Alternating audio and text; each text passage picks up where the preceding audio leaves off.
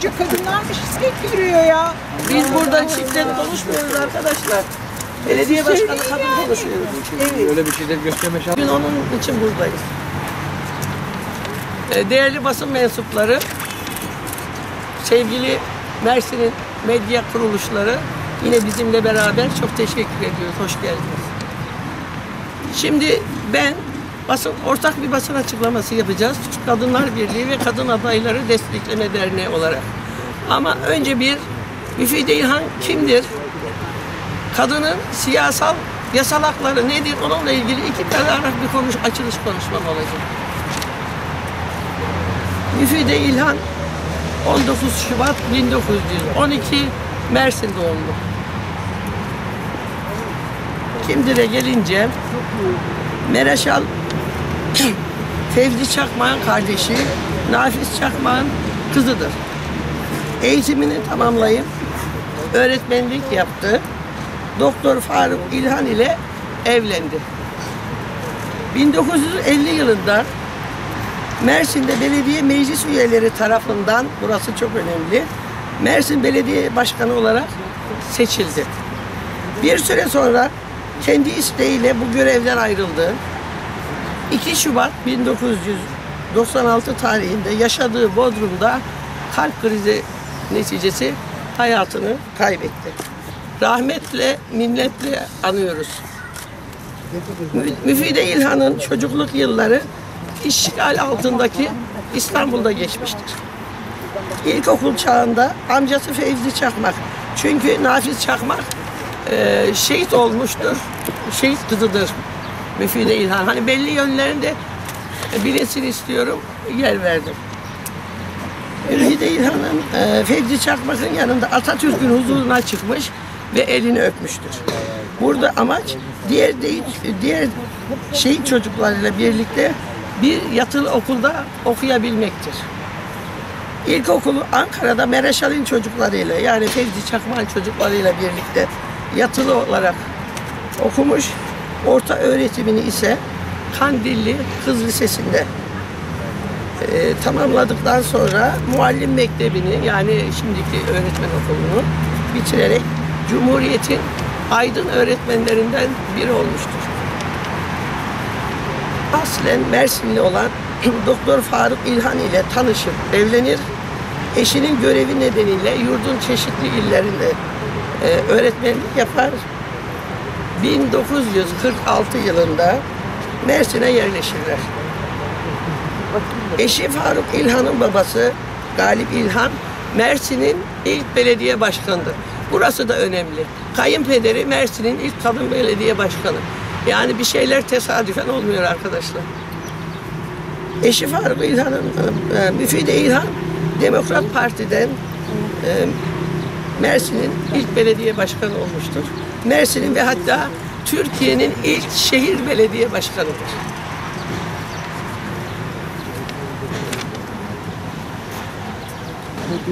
Müfide İlhan Dem- Demokrat Parti'den ayrıldıktan ayrılmasından sonra Mersin'de kendisi gibi düşünen arkadaşlarıyla birlikte Müstakiller Destekleme Cemiyeti kurmuştur. Buradan da ne anlıyoruz? O günde bugün olduğu gibi kadınların siyasette yaşadığı sıkıntılardan kaynaklanan neticesi bu düşünceyle o yıllarda e, müstakil adaylık yani bağımsız adaylık gibi bir düşünceyle dergi çıkarıyor. Bu bölümler önemli bizim için. Siyasetin içindeki zorlukları yaşayan kadınlar olarak. E, dernek kurar bir süre mücadele adlı bir mücadele adlı bir dergi çıkarıyor. İzmit'te Türk Kadınlar Birliği'ni kuruyor. Hiç boş durmamış, hep bir şeyler yapmış. Ankara'da özel bir ana açıyor. Almanya'da bu eşinin görevin gereği gittiği için Almanya'da Türk çocuklarını Alman okullarına hazırlama için okul açıyor. Bunların birçoğunu ilk defa duyuyorsunuz. Gelelim kadının siyasi yaşamındaki siyasal hakları ile ilgili böyle bir açıklama yapmaya. Türkiye'de 1930 yılında kabul edilen 1580 sayılı yasa ile belediyecilik diğer işlevlerinin yanı sıra modernleşme işlevi de üstlenmiştir. Belediyenin böyle bir görevi ortaya çıkıyor. Ee, bu yasaya göre belediye örgütlenmesi, merkezi denetimi yüksek bir belediyecilik modeli olarak kendisine çok geniş bir işlev alanı tanımlanmış ve modernleşme ile görevli tutulmuş bir içeriğe sahiptir. 1580 sayılı yasadan yani kadınların da belediye başkanı ve meclis üyesi olabilme hakkını elde ettiği yasadan bahsediyoruz.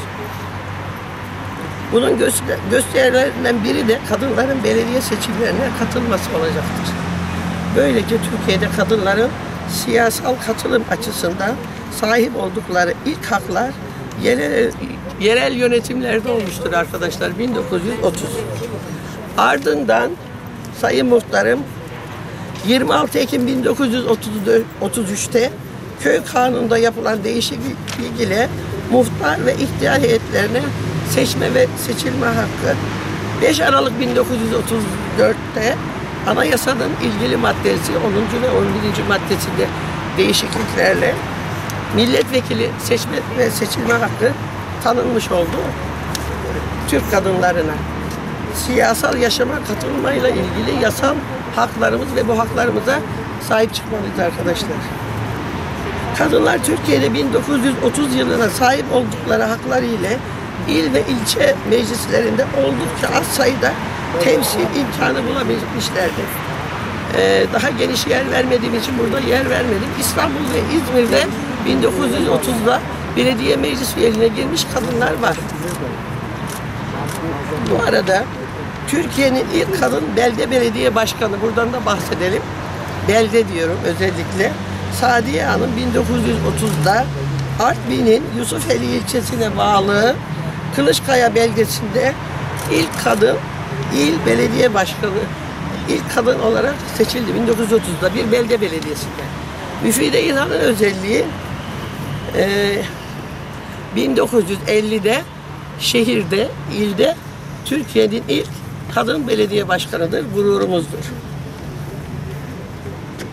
1950'de Türkiye'de uygulanmakta olan yerel yönetimler seçim yasasına göre belediye başkanı meclis üyeleri arasından seçilmekteydi. Arkadaşlar şu anda öyle değil biliyorsunuz belediye başkanının sandığı ayrı, meclis üyelerinin sandığı ayrı. 1950'deki seçim yasasında meclis üyeleri seçiliyor, içlerinden başkanı seçiyorlar. Ve Müfide İlhan o siyasetin acımasız çarkların içinde seçilmiş meclis üyelerinin içinden seçilmiş bir belediye başkanıdır. Demokrat Parti'den Mersin Belediye Meclis Üyesi olarak aday olmuş ve meclis üyeleri arasında yapılan seçim sonucu belediye başkanı seçilmiştir. Rahmetle, minnetle anıyoruz. Arkadaşlar bu benim açıklamam ve açılış konuşması. Şimdi Türk Kadınlar Birliği ve Kadın Adayları Destekleme Derneği adına e, bizim Kader Mersin temsilcimizin bir sor, e, mazereti 87 yılda toplam 1237 erkek belediye başkanlığı yaparken aynı sürede başkanlık yapan kadın sayısı iki eli parmakları kadar etmiyor. Sadece 9. Türkiye'deki 1351 ilçe belediyesinin yalnızca 37 tanesini kadınlar yönetiyor. Türkiye'nin ilk seçilmiş ilk kadın belediye başkanı ise kadınların bu hakkı elde etmesinden 20 yıl sonra Mersin'de göreve gelen Müfide İlhan oldu. Ancak ilk kadın belediye başkanını çıkaran Mersin'de yerel yönetimlerde kadın temsili yer, yerlerde sürünüyor.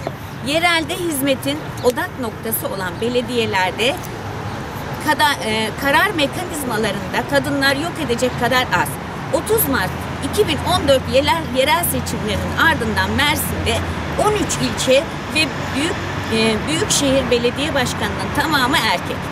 Merkezde seçilen 136 meclis üyesinden 18'i, ilçelerdeki 199 meclis üyesinden 22'si kadın, ilçelerdelerle birlikte Mersin'de kadın belediye meclis üyesi temsil oranı yüzde 11.4.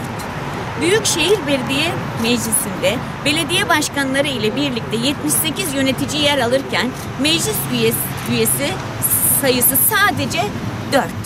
Büyükşehir Belediyesi'nde kadın temsil oranı yüzde beş, 30 Mart 2014 yerel seçimlerinde Mersin genelinde seçilen 805 mahalle muhtarının yalnızca 9'u kadın. Sevgili muhtarımız Fehime Böle'yi kaybettik. Kendisini rahmetle, minnetle anıyoruz.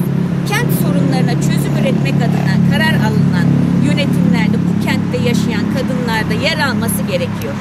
Mersin'in özgecanlarla değil, müfide ilhanlarla anılmasını diliyorum. Saygılarımla. Arkadaşlar sağ olun.